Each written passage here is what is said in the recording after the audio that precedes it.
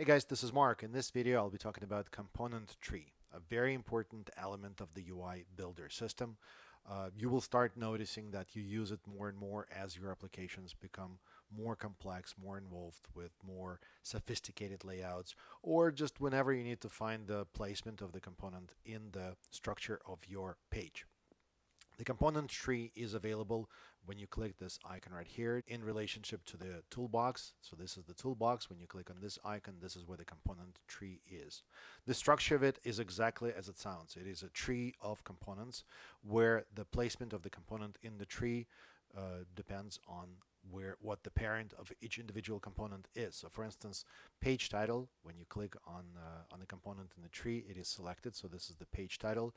It, it is a child of header. So click on header, header is selected. And likewise, you can select any row in the component tree and uh, they are automatically selected. By the way, when you select a uh, an element of the tree, all children are selected as well and then the row that you clicked on is also selected.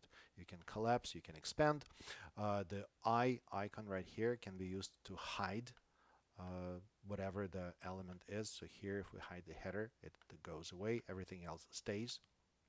So this is helpful if your uh, application layout is very busy and you just want to hide some elements then uh, use the eye uh, icon here just to change the visibility in the in.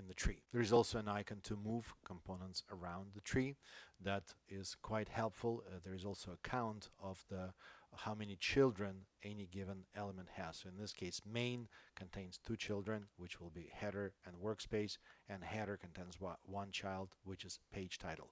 Let me create a page that has more complex layout just so you can see what the what the tree for that would look like.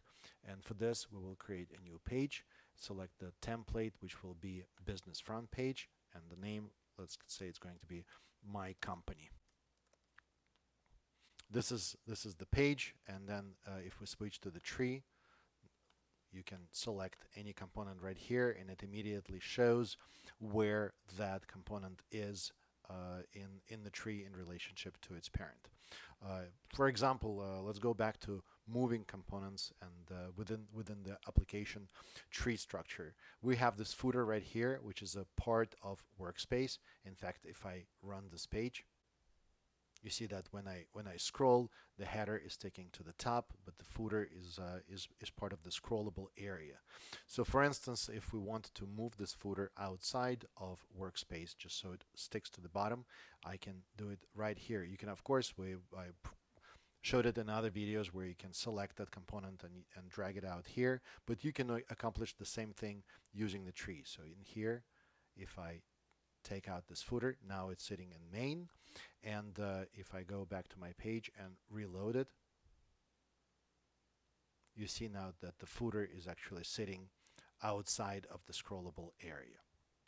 So that's a demonstration of dragging and uh, moving the placement of a component using component tree. As you can see, very helpful element of the UI builder system and uh, I hope you will find it useful as you start uh, building applications and uh, navigating through the structure of your apps. Thank you for watching this video and as always happy codeless coding.